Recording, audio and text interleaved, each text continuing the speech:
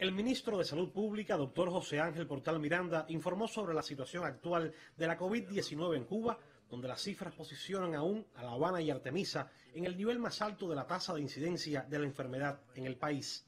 Confirmados ingresados tenemos en estos momentos 208, eso representa un 7,8% de casos activos, 188 se encuentran ingresados en los hospitales de la capital, 74 de esos 188 en la capital corresponden a Artemisa y 102 a La Habana.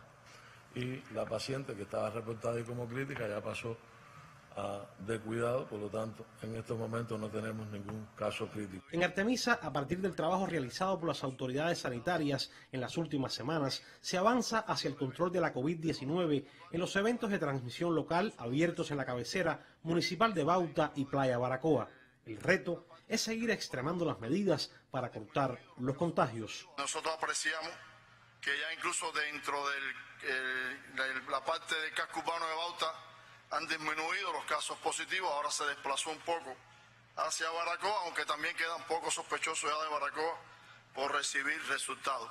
Ahí se mantiene la cuarentena, como yo le explicaba anoche, estuvimos ayer todo el día en Bauta, hay estabilidad en la disciplina de las personas e incrementamos las acciones eh, de control en la periferia, en el pueblo textil, que se acerca a la zona de San Antonio.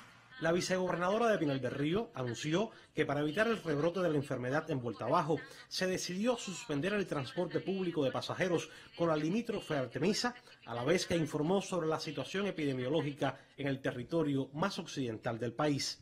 En estos momentos tenemos en la provincia en seguimiento nueve casos positivos a la COVID-19 todos asintomáticos, uno que reside en La Habana, el caso que reside en La Habana, y ocho son importados viajeros, siete de Venezuela y uno de Estados Unidos. Estos están asintomáticos en estos momentos. Los últimos siete casos eh, tenemos en vigilancia 30 contactos que se generaron a partir de estos siete últimos casos.